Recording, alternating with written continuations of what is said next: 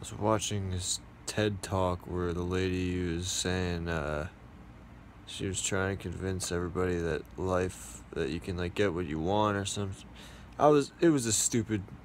I wasn't watching it actually. she was trying to convince everybody that they were they were special or something. And uh, and uh, she cited this thing that uh, like scientists figured out the odds of you being born.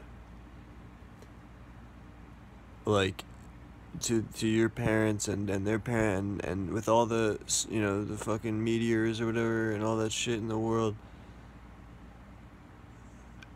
And and the odds were 1 in 400 billion that you were born and that you're here today.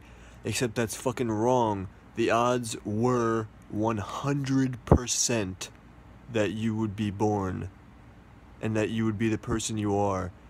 There was literally only one option and it was the option that created the world we have today and that made people the people they are. Whatever i exist that's because the fucking that's because i fucking exist it's not because i i won the fucking cosmic lottery and and my parents had grandparents and they're no i'm fucking here because i'm fucking here it's the stupidest thing I've ever heard. Do you realize how lucky you are to even exist? No, it's not fucking luck. I just exist. If I didn't exist, I wouldn't be unlucky. It's the stupidest fucking thing.